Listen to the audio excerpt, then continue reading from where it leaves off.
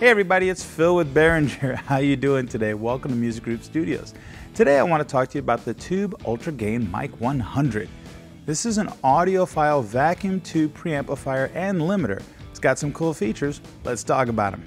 So this is high-end preamplification for all kinds of signals, for microphones, for instruments. You can use it as a DI. It's going to work great in a lot of situations, and it has a 12AX7 tube built right in. So you're going to get all those nice, warm, even order harmonics and that big round sound that we all love. So built into it is 48 volts phantom power, phase reverse, and a 20 dB pad.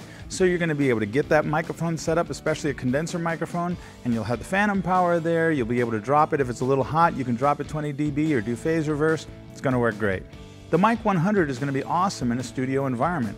If you set it up there, you can use your condenser microphones on it or use it as a DI box, but it's definitely a really cool studio piece. The tube that's powering the Mic 100 is a nice 12AX7 tube.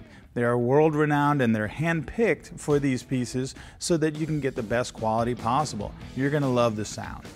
You have balanced inputs and outputs. The quarter inch jacks are tip ring sleeve balanced and servo balanced, and the XLR outputs are gold plated XLR connectors, so you're going to get a great connection, and those are servo balanced as well. Also on the output, speaking of it, is an 8 segment LED so that you can see exactly where your signal level is at a glance. So this is the Ultra Gain Mic 100. For more information and media, please feel free to come visit us at Behringer.com. Thanks for joining us here at Music Group Studios.